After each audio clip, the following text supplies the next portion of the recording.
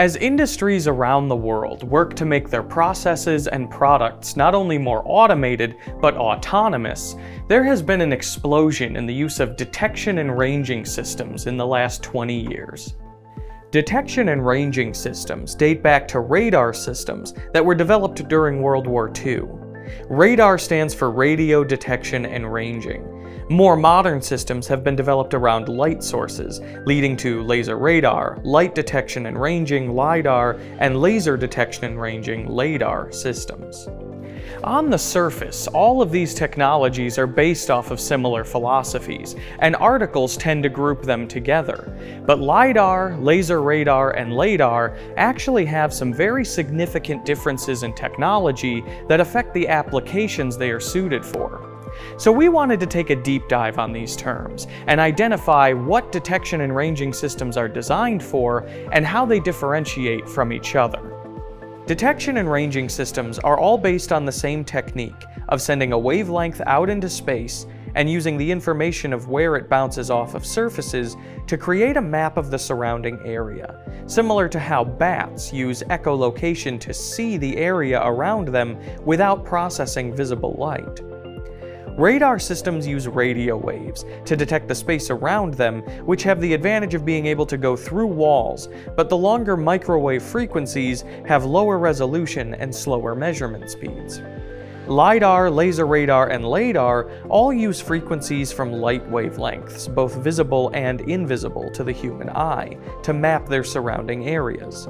Light waves have higher resolutions than radio waves, which allow for much higher accuracies in the maps they create, but they are more impacted by environmental objects and weather conditions. These technologies are based off a similar principle to laser tracking, but their measurements don't require a target to reflect the beam back to the unit to read positional geometry. Now even though laser radar, LiDAR, and LADAR are based off the same principle, how they measure and the applications they are best suited for have some very significant distinctions. LiDAR has become a catch-all term for any light-based non-contact metrology instrument, but in practice, LiDAR measurement devices have developed to handle high-volume scans of large areas. They typically send out multiple laser beams in a grid or cone style and use constant motion to cover millions of points very quickly, with accuracies ranging from tenths of an inch to more than a foot depending on the application. LiDAR technology has become commonplace in land surveying and mapping, building information modeling, and guidance systems for self-driving cars. Laser radar, on the other hand, has developed to more closely replicate laser tracker measurements in a non-contact fashion.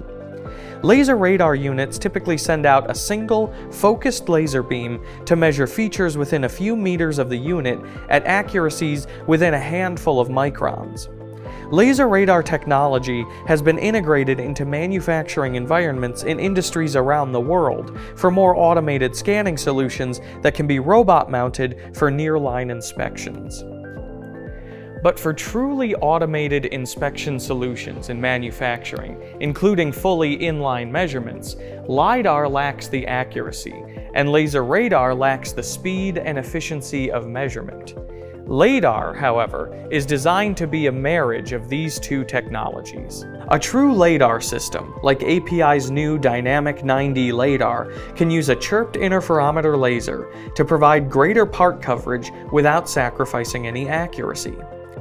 LADAR systems can be used in all laser radar applications, while adding the speed necessary to perform inline quality inspections for body of white or fuselage assembly.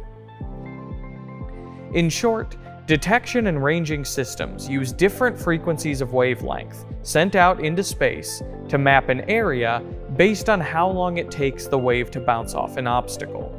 LiDAR, laser radar, and LADAR technologies all use light frequencies to take these kinds of measurements. But while the principal technology is the same, the practical designs and applications have led to very different uses. LiDAR utilizes more of a grid or cone of laser beams to increase coverage and data collection at longer distances with lower accuracies. Laser radar systems have sacrificed the speed of LiDAR for increased accuracy with a single focused beam. but a true LADAR system, like API's Dynamic 9D LADAR, is able to combine that speed and accuracy for more efficient measurement. To learn more about API's Dynamic 9D LADAR, please visit apimetrology.com and contact us to speak to a real metrologist today.